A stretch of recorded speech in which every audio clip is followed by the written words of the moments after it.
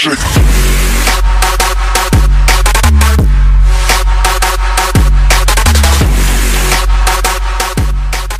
penghujung tahun 2015, Pengadilan Agama Pelaihari kembali meluncurkan inovasi produk pelayanan berupa pembayaran biaya perkara melalui mesin EDC Brilling bekerja sama dengan BRI Cabang Tanah Laut.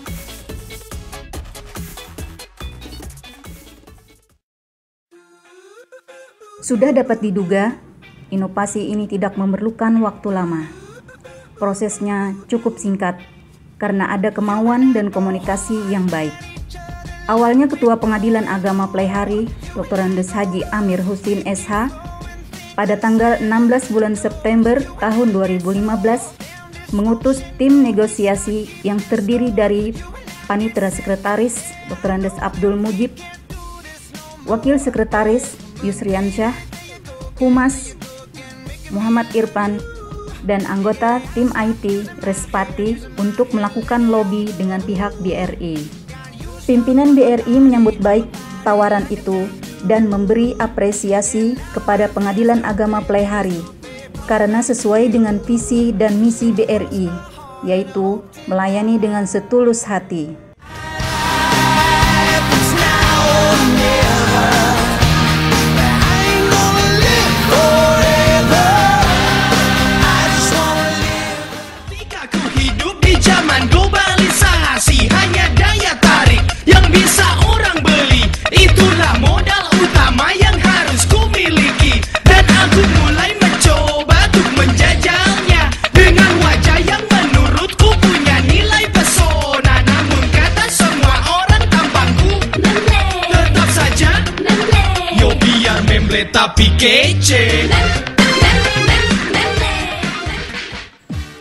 Dahulu, sebelum penandatanganan MOU, masyarakat pencari keadilan yang akan menyetorkan biaya perkara harus datang ke kantor BRI.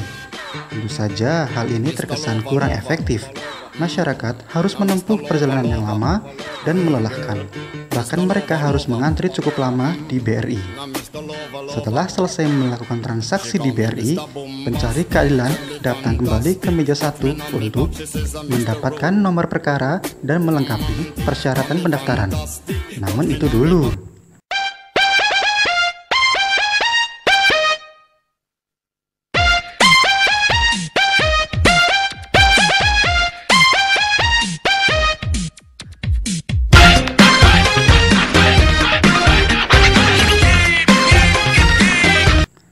Sekarang, hal seperti itu sudah tidak lagi dijumpai di pengadilan agama Pelaihari.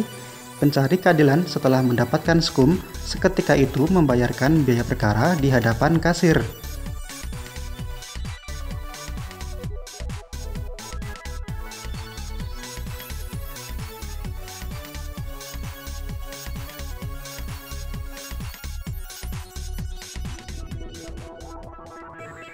Cara penggunaan mesin EDC Brilling sangat mudah. Berikut caranya.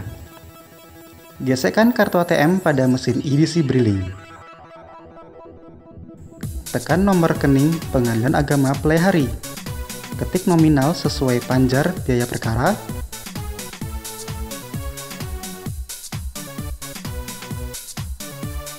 Masukkan PIN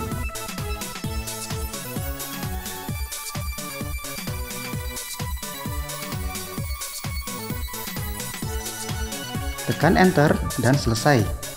Cukup mudah bukan? Hehehe.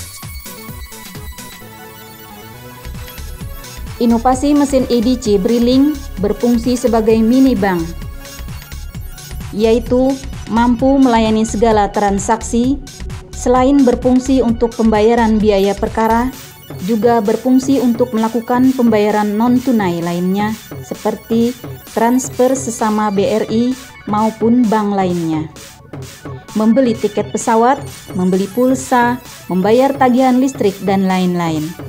Fungsinya persis sama dengan ATM, bedanya hanya tidak bisa melakukan penarikan secara tunai. Berikut kesaksian mereka yang sudah mendapatkan manfaat dari inovasi ini. sangat mudah. Ini sangat memudahkan saya. Inovasi luar biasa.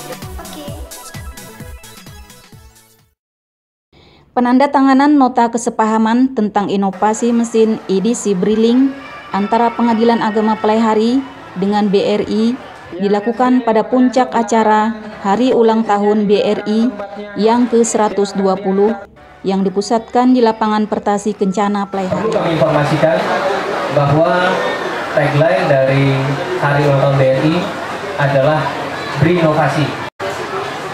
Sebagai bentuk dari berinovasi yang telah dilakukan oleh Bank BRI adalah dengan telah mengembangkannya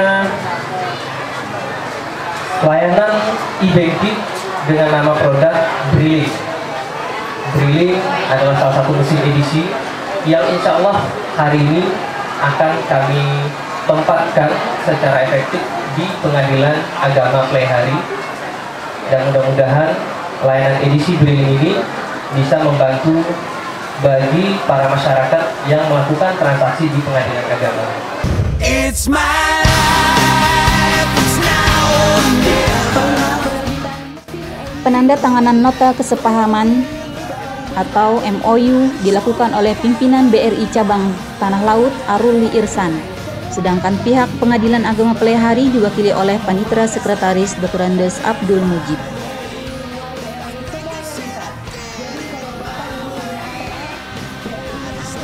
Setelah penandatanganan MOU yang disaksikan oleh Asisten 3 Setda Kabupaten Tanah Laut, bidang administrasi umum dan jajaran Muspida serta dinas terkait, dilanjutkan dengan penyerahan mesin edisi Briling dari pimpinan BRI Cabang Tanah Laut kepada Panitra Sekretaris Pengadilan Agama Pelaihari Dr. Andes Abdul Mujib.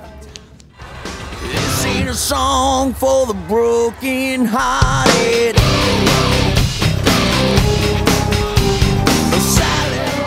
Seremonial lebih sempurna ditandatangani dengan pelepasan balon oleh Asisten 3 Setda Kabupaten Tanah Laut, bidang administrasi umum, disaksikan jajaran Muspida dan dinas terkait.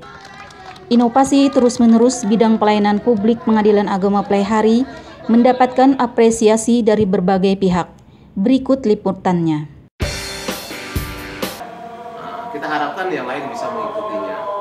Eh, suatu inovasi yang luar biasa yang saya lihat PA hari ini tidak mau ketinggalan dan greget ingin eh, menyesuaikan diri dengan PA-PA besar di Jawa. Nah, itu sekali karena itu dalam rangka pelayanan kepada masyarakat untuk terjadi keadilan itu memudahkan bagi mereka itu sekarang yang diutamakan hal-hal yang memberi kemudahan memberi gampang kepada uh, pelayanan masyarakat yang berurusan dengan kantor-kantor pemerintahan Oh, ya. sebagai pimpinan pengadilan tinggi agama Banjarmasin tentu mengharapkan bukan hanya pelihari tapi seluruh pengadilan agama di wilayah pengadilan tinggi agama Banjarmasin ini bisa eh, memberi pelayanan seperti itu yang memudahkan para pencari keadilan untuk mengurus urusannya. Saya Hidayatul Afifah dan seluruh tim humas yang bertugas mewartakan dari Pengadilan Agama Pelaihari. Salam inovasi.